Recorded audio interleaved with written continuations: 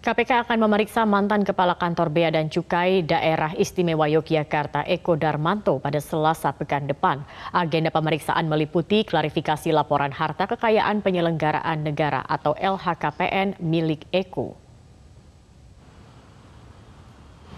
KPK akan memeriksa Eko Darmanto yang dicopot dari jabatannya sebagai Kepala Kantor Bea Cukai Daerah Istimewa Yogyakarta pasca aksi hedonnya memamerkan harta kekayaan viral di media sosial. Deputi Pencegahan KPK Pahala Nainggolan menyatakan pihaknya akan memeriksa Eko di gedung KPK Jakarta pada Selasa 7 Maret 2023 mendatang. Agenda pemeriksaan adalah klarifikasi LHKPN serta memeriksa sejumlah aset milik Eko.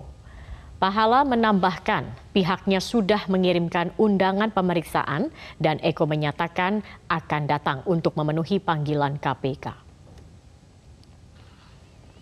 Seperti diketahui, Ditjen Bea Cukai Kementerian Keuangan telah mencopot jabatan Eko Darmanto, namun masih berstatus aparatur sipil negara.